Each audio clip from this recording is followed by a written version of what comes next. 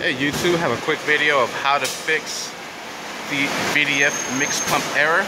There it is. Alright, what you want to do, first thing is first, turn off the machine. So we're to turn it off.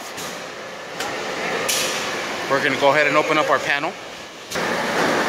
Alright, once you have your panel open, what you want to do is turn it back on. What you have to do is push this in. You see how it slides in, and then turn it up.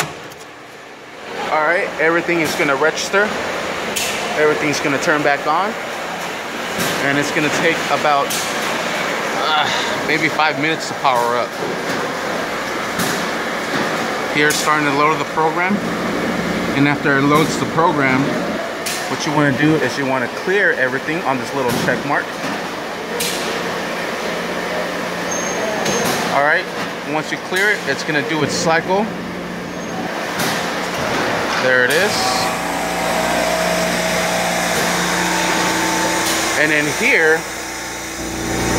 we have our blinking light, the alarm, the VDF mixed pump error. Now this key point is essential. This will not work if you do not power it off first.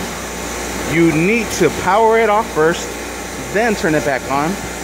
I guess it's like a reset, it's a reboot now you have the option to turn off the alarm. The alarm is off. Now you do is put it back to auto and you're ready to go. After the machine is done with its cycle, you should be able to run it once again. One thing you got to make sure is you have your water flow open all the way.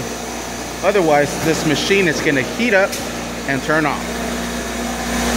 And that's how you clear code the VDF mix pump error on a Tetra Pak continuous freezer 1500. Thank you for watching. Please like and subscribe.